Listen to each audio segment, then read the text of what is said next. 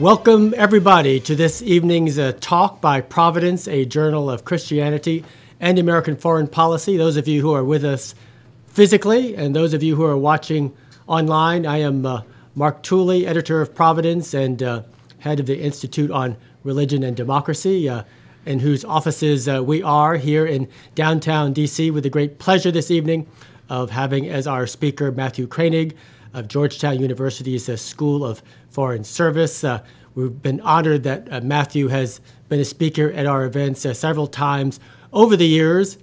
His most recent book is on the reemergence of a great power conflict and competition, which is very pertinent to today's situation regarding the Ukraine.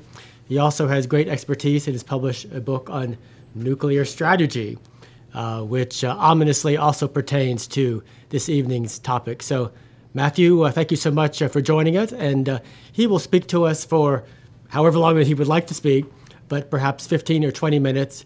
And he has to leave by 10 till 7. So we'll squeeze in as much time for questions or possible as possible. So, Matthew, thank you so much for joining us.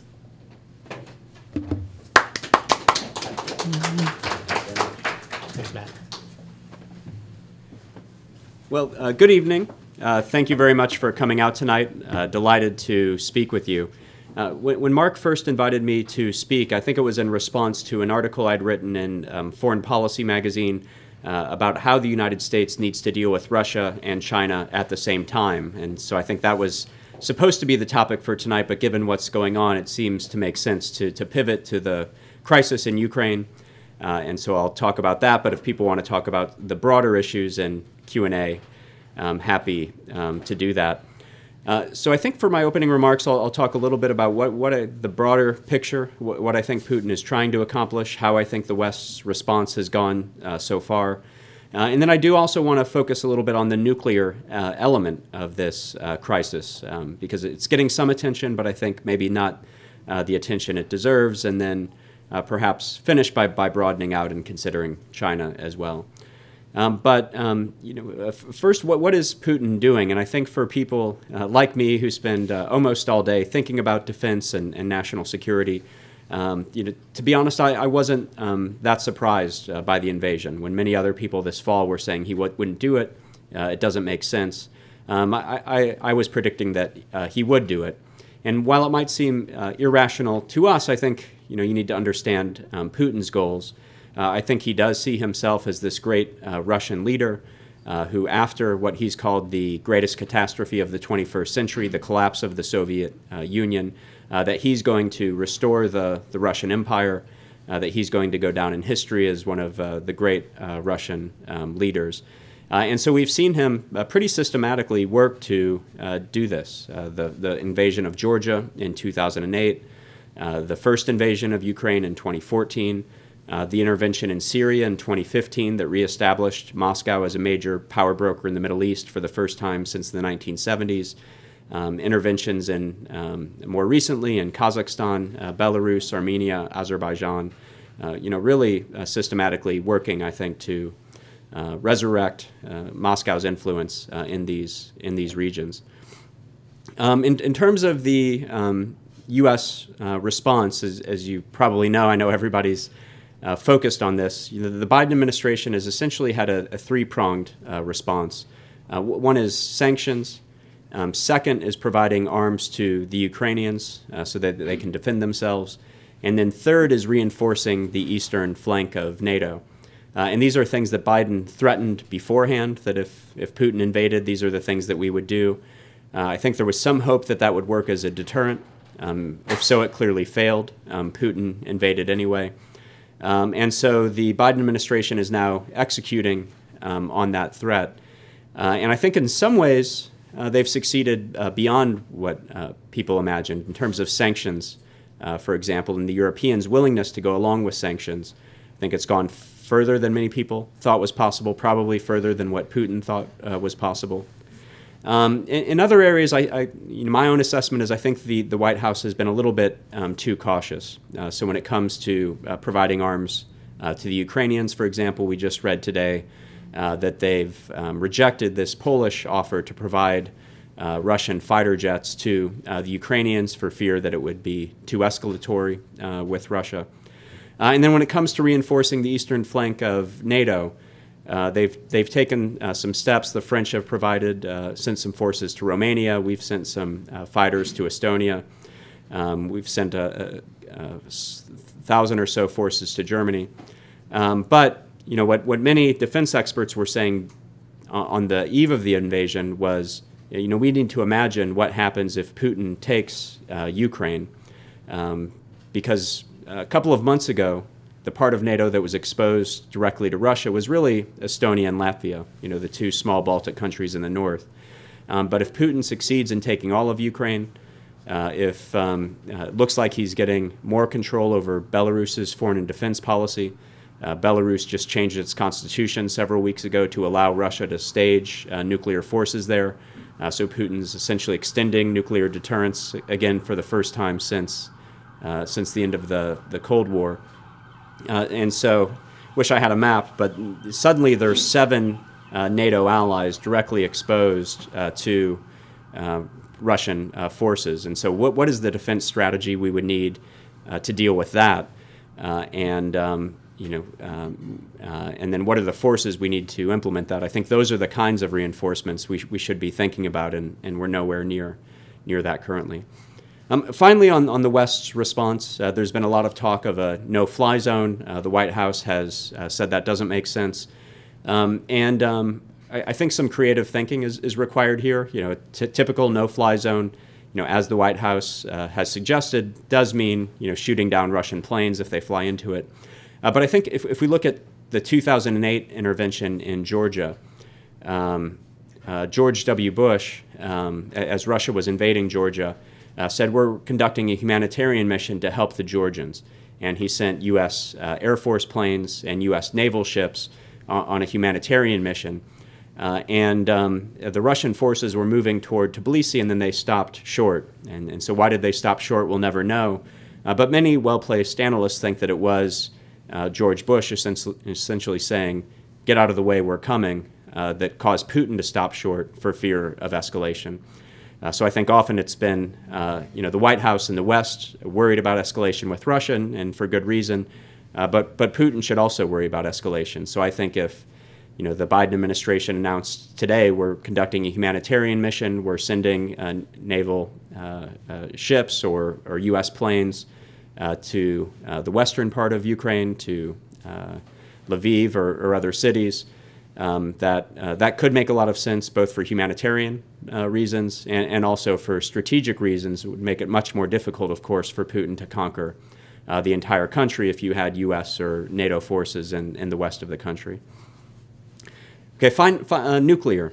Um, so uh, Putin uh, so this is another area where people who focus on this weren't weren't um, surprised. Uh, so Russia has a nuclear strategy that's been referred to as the escalate to de-escalate strategy. Um, but uh, essentially, the idea is that the West is afraid of nuclear weapons. Uh, Putin and, and, Russia are not. And so, if they get into a conflict, that they'll make nuclear threats early on. Um, if necessary, maybe even use nuclear weapons, uh, one or two or three, to convince the rest of the world to say, oh, oh my God, wh- what are we doing?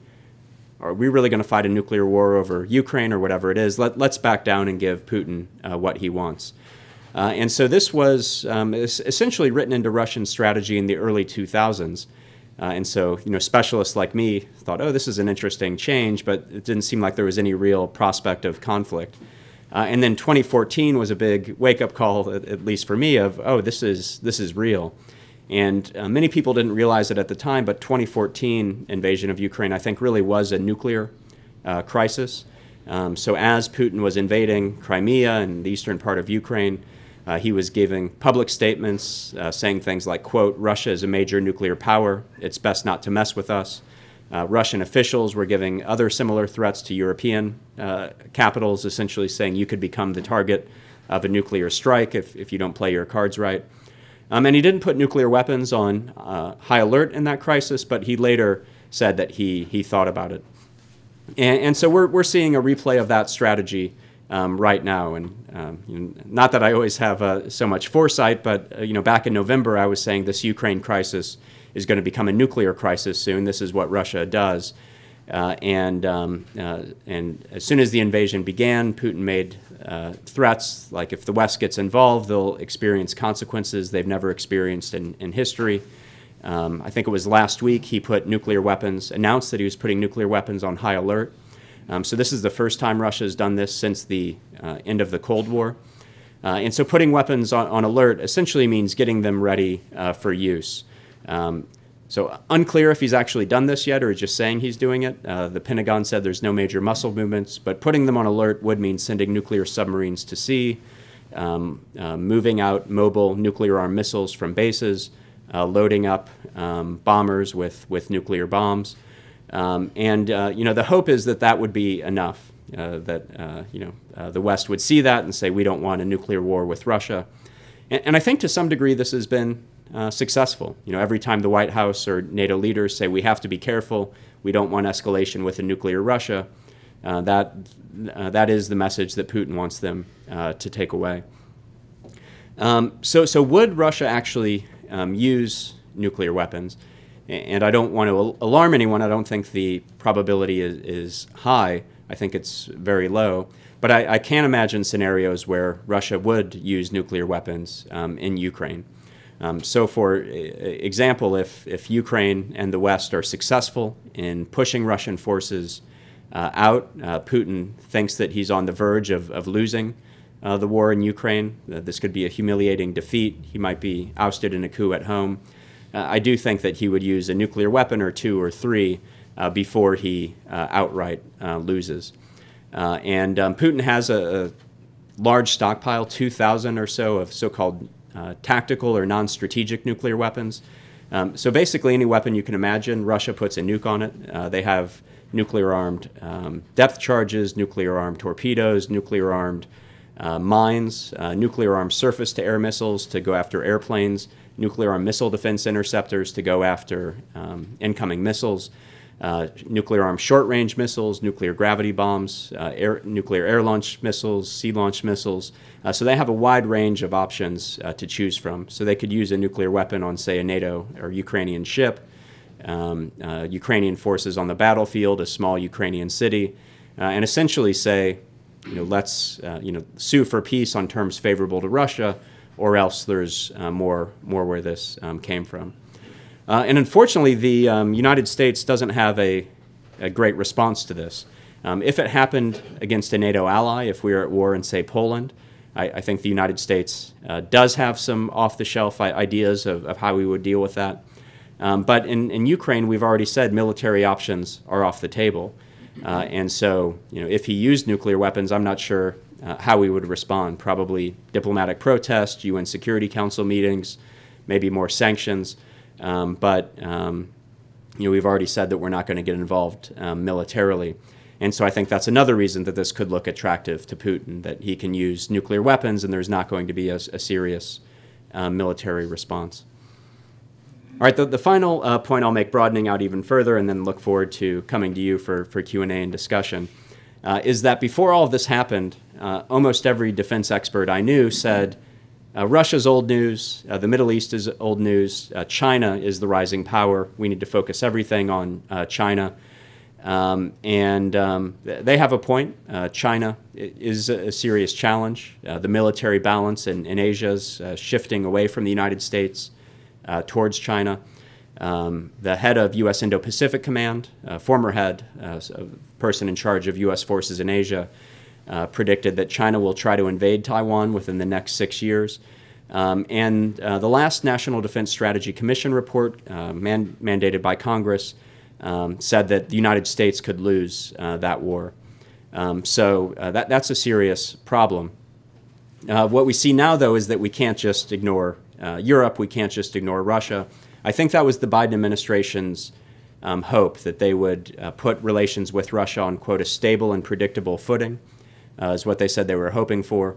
Um, you know, negotiate the new START arms control agreement, uh, park the Russia problem, uh, get back into the Iran nuclear deal, park the Middle East, uh, and focus everything on China. Uh, and as we're seeing now, um, Europe and Asia are more complicated. Uh, sorry, Europe and the Middle East, we can't just park those problems and, and focus on Asia. So I think the biggest um, challenge facing uh, the Defense Department, really the free world, is how do you deal with Russia and China at the same time? You know, two autocratic, revisionist great powers, um, nuclear armed, uh, China drastically increasing its nuclear arsenal, trying to become a nuclear superpower, uh, that are working together. And we saw Xi essentially green light Putin's invasion uh, just before it happened. Uh, and that's a, that's a really hard um, challenge. And, and the truth is, I, I, don't think the Pentagon can deal with uh, both of them um, right now. Uh, and so, figuring out a free world defense strategy to deal with Russia and China at the same time, alongside our allies, I think is going to be uh, critical to maintaining uh, peace and stability going forward. We've really been fortunate for the past, what, 80 uh, years or so, you know, zero great power wars. Um, but I do, uh, uh, you know, unfortunately can imagine plausible scenarios where we're in war with Russia, you know, by the end of the month, at war with China uh, by the end of the month, or at war with both of them by the end of the month. And um, we need to uh, strengthen our defenses and our deterrence to prevent that from happening. So maybe I'll end my remarks there and open it up to questions and, and comments.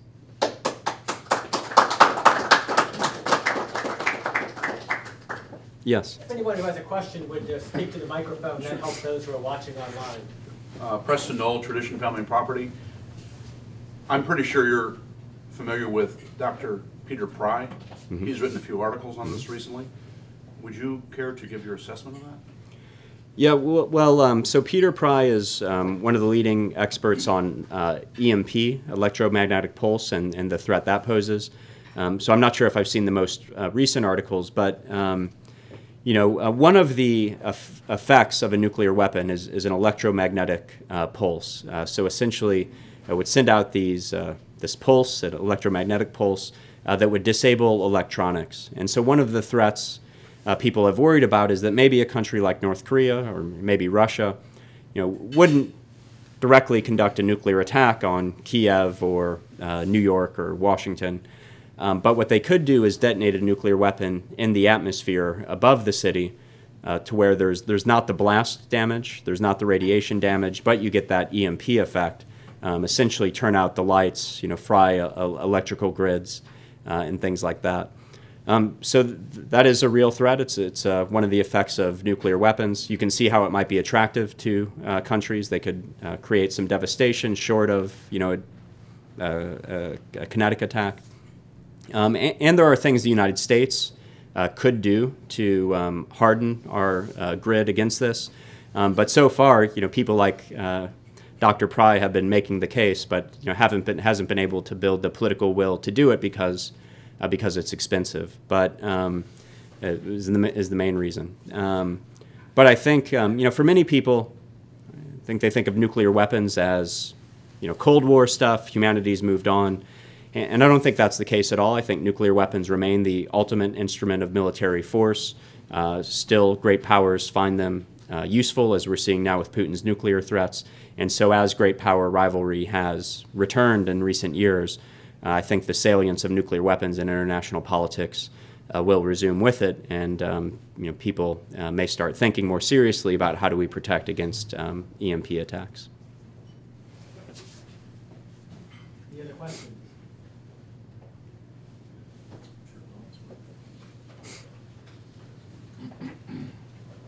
Good evening. I'm Darren Duke from the Philos Project. Uh, China and Russia seem naturally not to have allies. And so it seems that they're going to have a, a, larger challenge. They have each other, but they don't have a larger coalition like the free world does.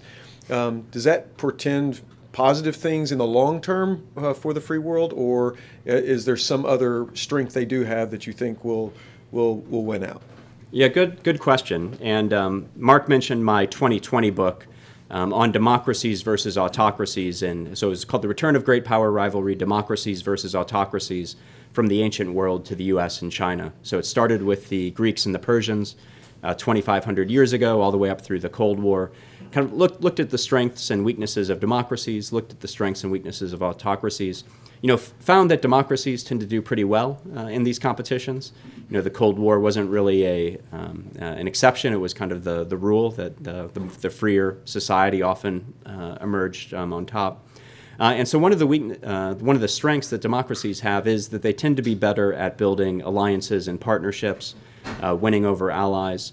Um, autocracies, dictators tend to not be um, so good at that. Uh, and so I think this is uh, absolutely true in the competition today. You know, the United States has 30 formal treaty allies.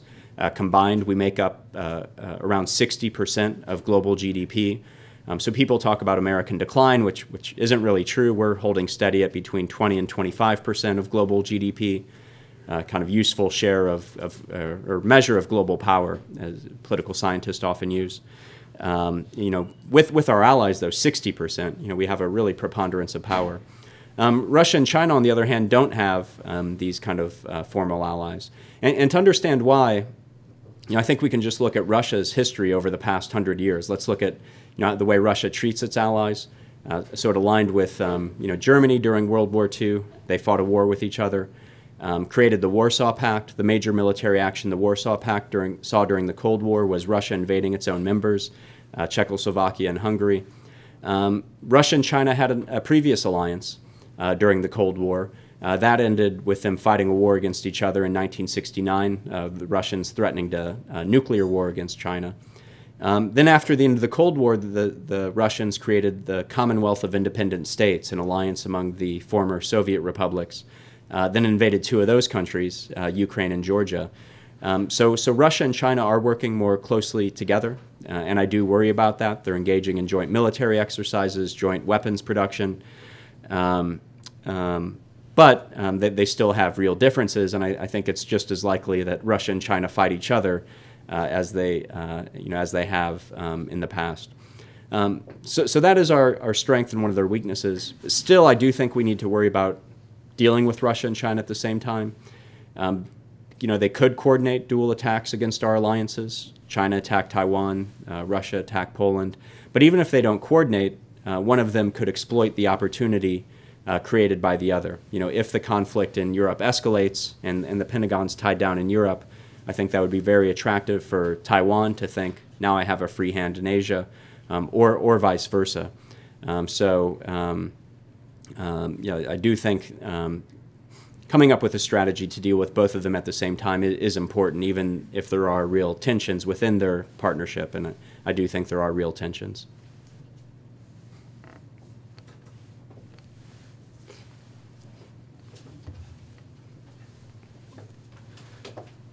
No, thanks a lot. Uh, Christian Forstner, Hanns Seidel Foundation, which is a think tank, yeah, um, affiliated with the conservative political party of Bavaria, Christian Social Union. No, thank you, Matthew. Uh, fascinating talk. Um, a couple of questions. The first one, yeah, nuclear deterrence.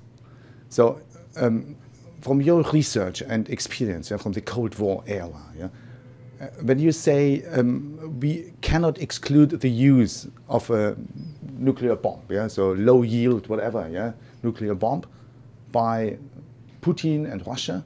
But how does nuclear deterrence still work?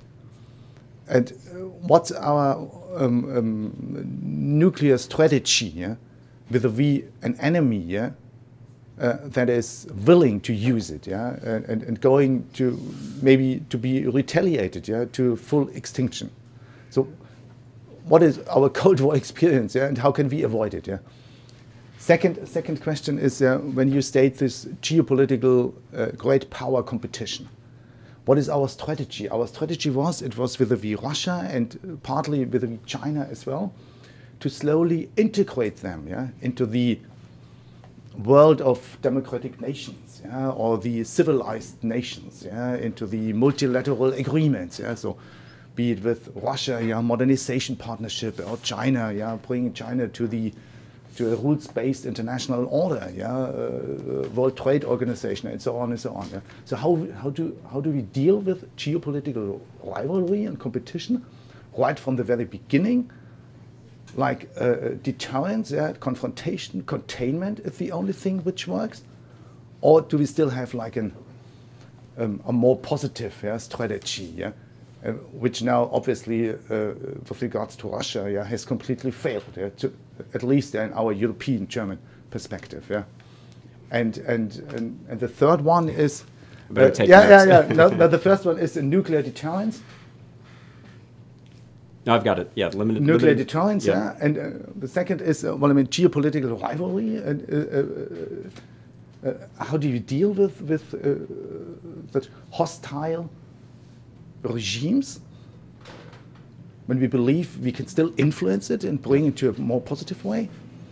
And, and, and the third one, yeah, if you analyze yeah, the current situation yeah, with Russia, yeah, war in Ukraine, war with Russia, do you see, looking back, that we, the West, could have done anything better hmm. to avoid this war scenario and the war situation today in Europe?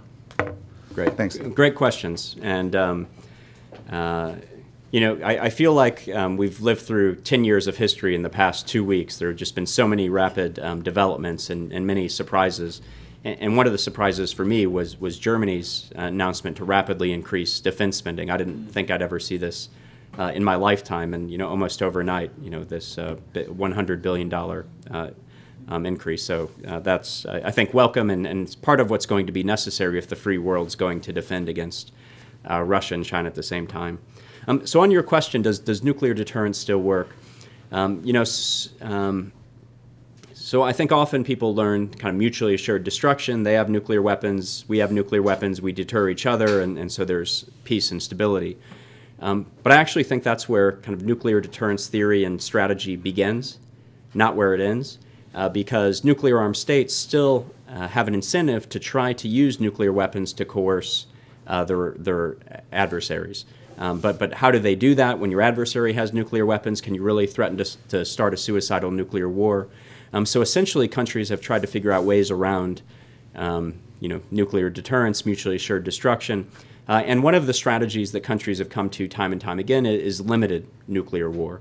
You know, because when we think about mutually assured destruction, we think, okay, I'm going to hit you with thousands of nuclear weapons, you're going to hit me with thousands of nuclear weapons. Uh, we're both deterred. Um, but what happens if your enemy uses, you know, one or, or two or three nuclear weapons? You know, what do you do? Uh, and, and so this is essentially uh, Russia's strategy, so limited nuclear war strategy, that they would use a small number of nuclear weapons. Uh, and then how do you respond? You know, imagine you're Joe Biden or, or Macron or, uh, you know, a Western leader. Um, they've just uh, used a nuclear weapon against Mariupol, you know, or, or against um, uh, Warsaw. You know, what do we do? I was, I was testifying on um, uh, to U.S. Congress on, on this exact issue, and one senator, actually a Democratic senator, said, "You're telling me Putin thinks he can nuke us? Uh, if he nukes us, we're going to nuke him back so hard. You know, Russia is going to be a, uh, you know, a smoking ruin." And I said, "Okay, but remember, he's only hit Warsaw or whatever so far. Paris is still intact. London is, you know, if, if we launch a massive nuclear attack, he- he'll retaliate." you know, do you really want to destroy the West? To, and he's like, oh, that, you know, that's a good point. You know, uh, um, um, others, you know, I, I've talked to said, well, let's, um, we're not going to fight a nuclear war with Putin over Estonia or Ukraine. Let, let's just back down. And, and I say, okay, well, you know, we could do that, but then what is the message you send to Putin? You tell him threaten nuclear weapons and do whatever you want. Take Paris. We're, we're not, you know, if nukes are on the table, we're, we're cowards. We're not going to do anything. And so the uh, 2018 U.S. Nuclear Posture Review um, essentially said that our response to, to Russia's strategy in particular is going to be to threaten limited nuclear use of our own. Uh, so Putin, you use one or two, we'll use one or two or four. Uh, and um, you know the the hope isn't that we fight a limited nuclear war, but rather Putin says, "Oh, oh shoot! I thought if I used a nuclear weapon, I win, but now you're telling me I just get into this messy nuclear war.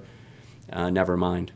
So, so I think that's why I said I, if, if this happened against Estonia or Poland or the United States, I, I think we have a strategy for it. You know, we, we'd say don't do it, or else we'll retaliate with nukes. If he used one, we could use one back.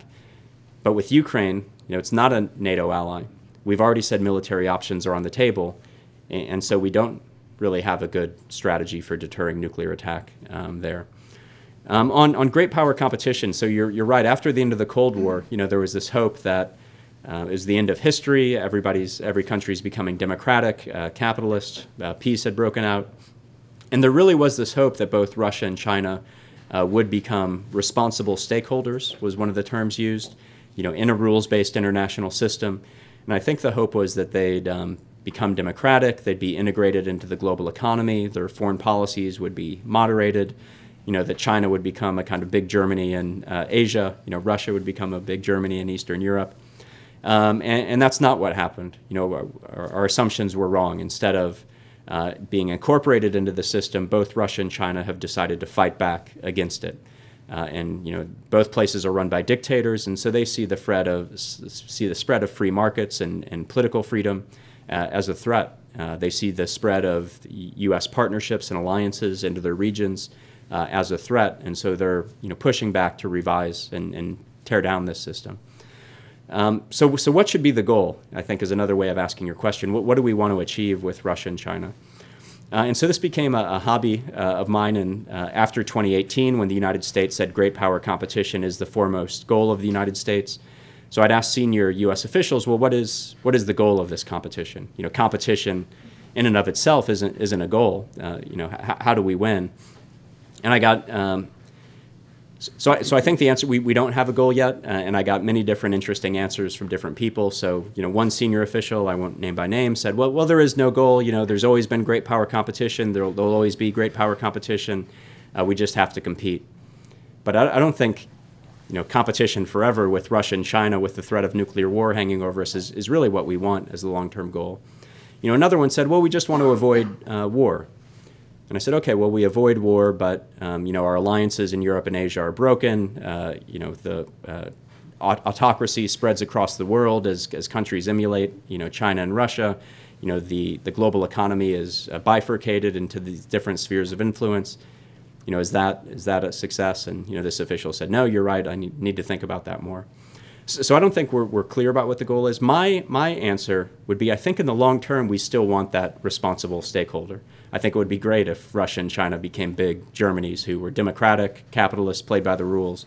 Um, but I, I, don't think the way we get there is by cooperation in, in the short term. I, I, think we need confrontation uh, in the short term.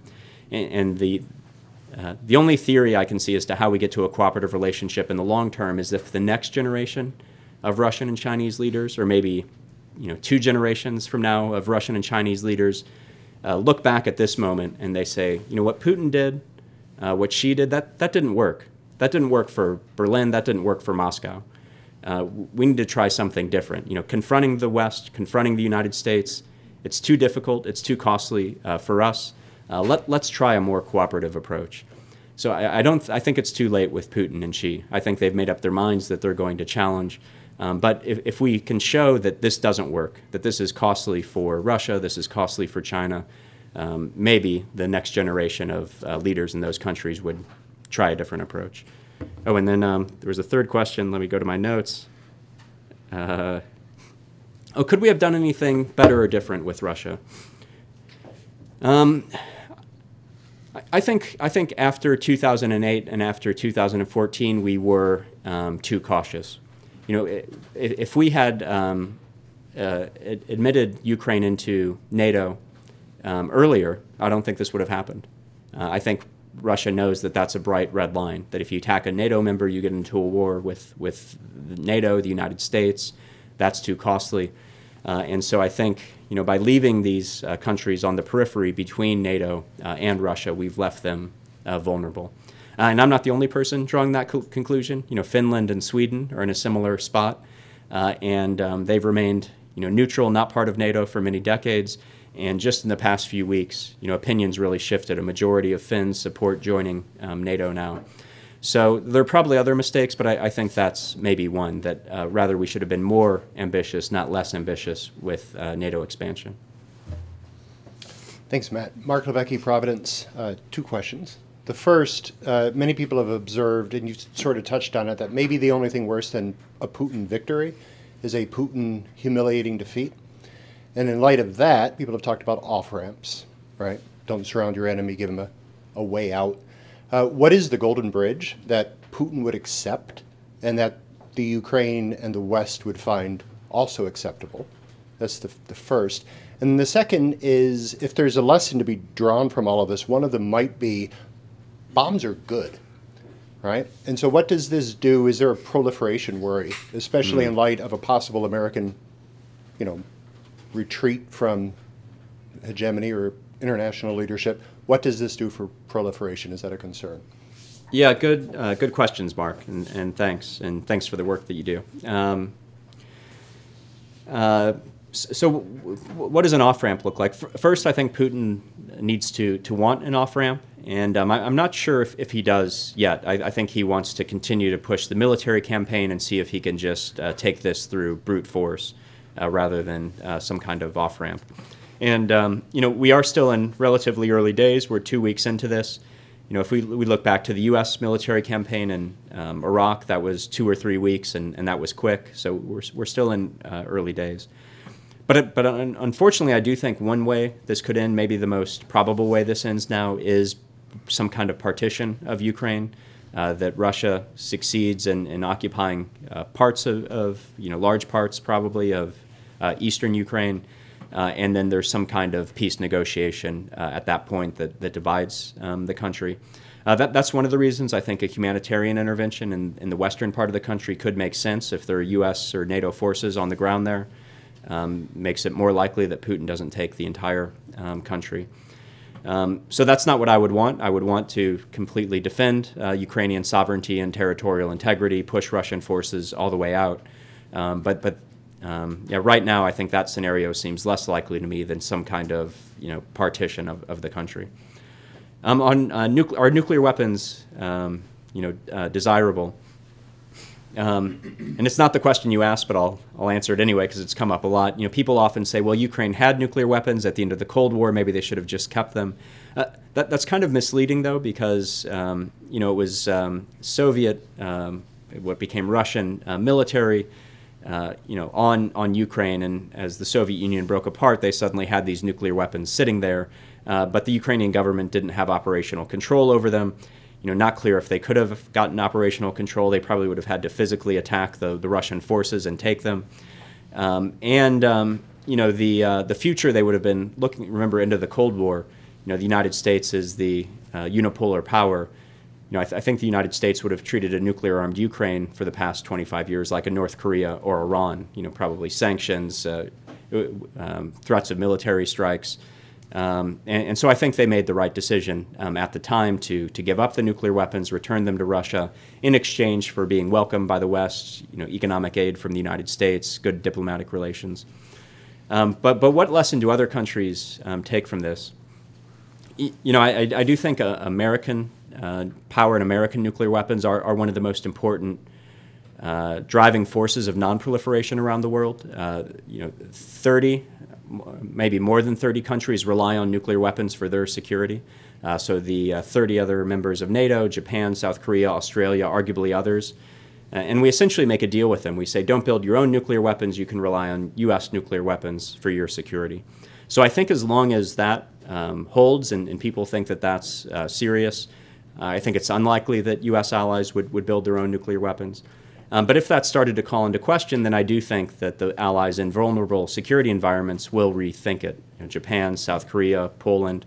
Uh, in fact, um, Prime Minister, former Prime Minister Abe, um, just in um, uh, recent days, has said something about how Japan um, should build um, nuclear weapons, or that U.S. should should bring nuclear weapons to Japan. So I think that you know Ukraine has been a wake-up call for many of these small, vulnerable countries, and it's getting them thinking. But so I think this is an important reason why the United States should maintain a credible deterrent and should strengthen our alliances and partnerships uh, in, in, order to prevent the spread of nuclear weapons. Because if we get this wrong, I think you're right that uh, countries might relook their options.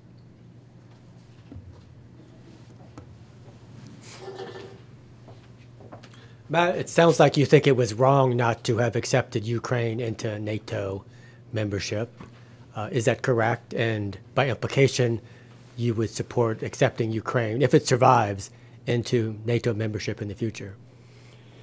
Yeah, it's a, it's a good question. I mean, at the, at the time, I think um, you know the decision was reasonable. There was a concern by some that allowing them in would be provocative to Russia. Um, I think there were, um, you know, there, there are kind of political requirements for uh, membership in NATO, and there were concerns about corruption and reforms that needed to take place in, in Ukraine. Um, so I think it was understandable at the time, but you know, looking back in hindsight, yeah, I, I think that if we had allowed Ukraine into NATO, it's uh, pretty unlikely that, that Russia that we'd have this war uh, today. Um, so in that sense, uh, I think it was a mistake. Um, so if Ukraine um, gets out of this, um, I, I, think that um, the case for, for NATO membership would be pretty strong. And, and I think that's one of the things that, um, that maybe we should have threatened before the invasion as a deterrent. Uh, that if, uh, you know, that Ukrainian and Georgian membership is currently on, on hold. Uh, we promised at the 2008 NATO Bucharest summit that one day they'd become members. They just needed to make reforms first. But you know, if we'd threatened if you invade, then we'll make them. Uh, you know, they'll defeat you, and then we'll make them NATO members. That might have been an, an additional uh, deterrent for Putin. So I do worry about you know the other countries in this kind of gray zone between Russia uh, and um, NATO. Um, you know, Georgia is in a vulnerable position. Uh, Russia's already invaded once. You know, are they next? Um, what about uh, Moldova? Um, you know, between Romania and, and Russia.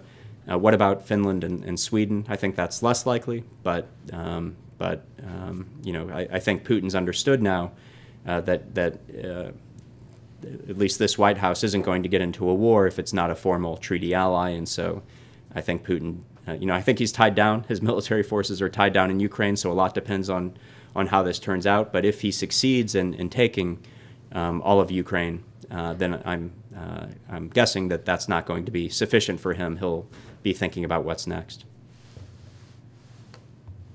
Anybody else?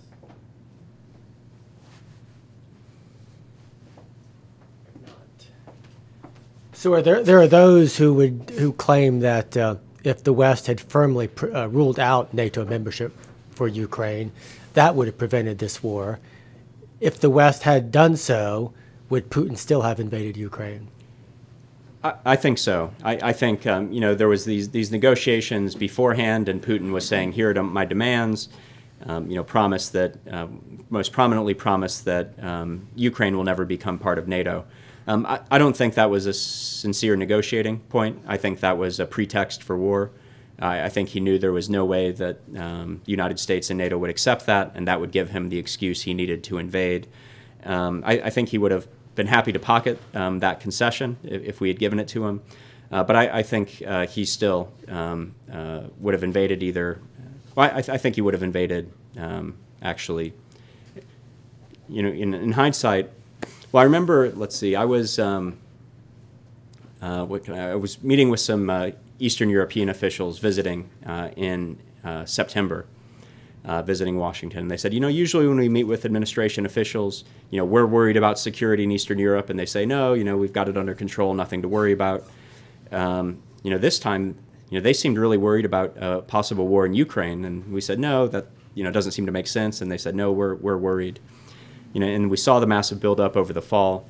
I mean, so in, in hindsight, I, I, think he made this decision some time ago, and this late stage negotiation was just a pretext. I think if we'd said Ukraine's not going to, you know, and we did try in good faith to try other things. What about, um, you know, limits on military forces? That was one of the things he'd mentioned. What about new arms control arrangements? It's one of the things he'd mentioned. Uh, they never seriously negotiated on, on those. So I suspect if we'd said, okay, Ukraine will never join NATO or won't, won't join for 25 years, I think he would have had some other, you know, excuse, Nazis or, or whatever, and would have invaded anyway. Time for a final question. I'll take a swing at it. So we've talked about high-end combat and nuclear weapons. There's also a discussion of insurgency and a grinding insurgency in the Ukraine. Uh, Dr. Ben Connable, Real Clear Defense, has published some work saying just today 186,000 troops will be required for Russia to occupy Ukraine completely. That will require him to do a port and starboard rotation of forces in and out. That's not something that is sustainable from a Russian perspective. And then you add to that an effective uh, Western supported insurgency. Um, what are your thoughts about that as an option for bleeding Russia white? Yes. Well, and um, so I've kind of touched on all these in uh, a way, but maybe I'll just um, you know systematically lay it out. Um, uh, so the Atlantic Council think tank where I work published um, a piece about a week ago on scenarios for how the war in Ukraine might end. Uh, and it became the, the most read piece in the history of the Atlantic Council, 180,000 readers in uh, a couple of days, um, because a lot of interest in, in this subject. And they laid out um, five scenarios. You know, one is Russia quickly wins, you know, maybe, maybe that's still possible, although looking less likely. You know, one is uh, the miracle on the Dnieper, uh, that the Ukrainians in the West push Russia, Russian forces out. Um, you know, I, th- I think that's looking unlikely. You know, third is direct Russia-NATO war, and, and there are a, a, number of ways this could um, escalate. Um, fourth is uh, some kind of partitioned um, settlement, as, as, we discussed. Uh, and then fifth is, is, this one, that this becomes uh, a long-running insurgency, another Afghanistan um, for Russia. And that, that does seem plausible to me. I mean, you know, even if Russia succeeds in taking Kiev, putting in some kind of puppet um, leader, you know, do the Ukrainian people just uh, accept that? I mean, I, th- I, think what we've seen over the past few weeks is that uh, they probably wouldn't, or at least a significant, uh, you know, portion of the population would not. Uh, and so I, I, think that could become a, a, a years or maybe even decades long um, in, insurgency. So I think that is one of the, the possible outcomes uh, of, of this conflict. Matt, do you want to end a, with a few words of optimism? Well, well, maybe I can. Um, uh, so I'll talk about the, the book that I'm working on now, uh, and it's called um, "Force for Good: How How American Power Makes the World Safer, Richer, and Freer." And it's a um, combination of um, kind of Robert Kagan, if you know his work, and, and Steven Pinker. Um, you know, because Pinker is this radical optimist who, who just says, "Look at all the data; the world is getting um, so much better." And, and I think he's right. You know, if you you know, current headlines aside, you know, the world uh, over the past 80 years has been much safer than any time in human history. No great power wars. Uh, it used to be that 1 to 2 percent of uh, the human population from the beginning of recorded human history until 1945 could expect to die in armed conflict. Uh, now that number is less than a tenth of 1 percent. Um, if you look at prosperity, um, the world's richer than it's ever been. You know, um, poverty rates in 1945 were 66 percent of the world's population. Now it's 10 percent you know, still too high, but, but much better. Uh, and if you look at uh, freedom, we often forget that um, you know, Europe and, and, Asia was mostly autocratic uh, up until 1945. And then now, you know, all of Europe is, most, most, almost all of Europe is democratic. You know, major powers in, in Asia um, are democratic. Uh, and so, you know, the, the world is better uh, according to these objective measures. And, and why is that the case? And, you know, so Pinker, if you know his work, has these seven complicated factors. But what I argue, I, I think it's really American um, leadership in, the world that the United States has made over the past uh, 80 years, uh, promoting security through our alliances and extended nuclear deterrence in Europe and Asia, uh, promoting uh, free markets and, and globalization to um, uh, make the world a more prosperous place, and uh, promoting good governance, democracy, freedom, human rights. You know, not perfectly and not always evenly, but um, you know, I think it's no coincidence that the safest, uh, richest, freest parts of the world are, are those that have been most under um, American influence over the past uh, 80 years, Europe and, and East Asia. Uh, and so um, I, I, think that's uh, optimistic. If you look at the big sweep of things, uh, the world um, it, it, has been getting better. Uh, and I think it has been because of a powerful and engaged um, United States. And, and, despite the talk of American decline, I think the United States still is the, the foremost power uh, on earth. And so, if we continue to have the will to lead in the world, Uh, I think we can continue to make the world a better place.